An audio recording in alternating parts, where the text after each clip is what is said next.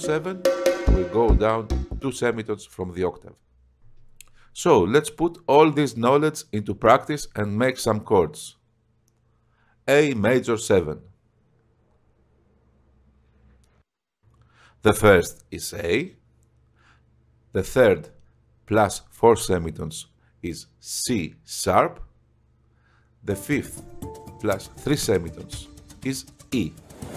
And major seventh is minus 1 semitone from the octave, G sharp. Let's hear it.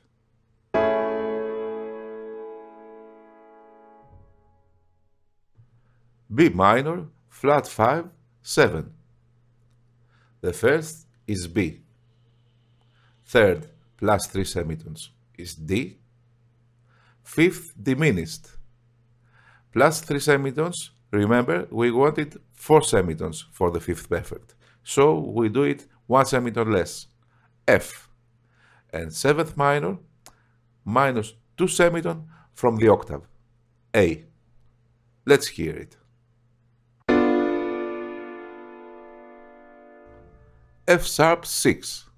The first is F sharp, the third plus 4 semitones A sharp, the fifth plus 3 semitones C sharp, and sixth minus 3 semitones from the octave is D sharp.